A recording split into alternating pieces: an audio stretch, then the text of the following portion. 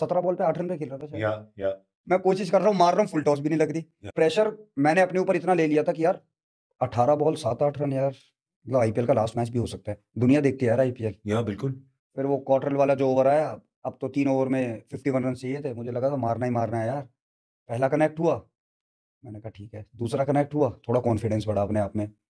तीसरा मारा। मैंने कहा फिर रॉबिन उथप्पा भाई खेल रहे थे सामने। तो उन्होंने बोला हम्म। मैं भी अपना देसी जाट अपना बॉल वो डाले और अपना मिड विकेट वाला है ही पक्का। तो वो बॉल डाले और मैं अपना मिड विकेट पे घुमाऊं शॉट सारे सारे कनेक्ट होते गए। और जो एक मिस हुआ पाजी वो भी बॉल था। मैंने बाद में देखा हाइलाइट्स में देखा जो मैंने मिस करी वो भी सेम बॉल थी लगने वाली। पर शायद उस टाइम ये हो गया ना चलो अब तक एक भी नहीं लगा था कहाँ चार लग गए पांचवा ही मार। तो ज़्यादा एक्साइटमेंट में चला गया मैं।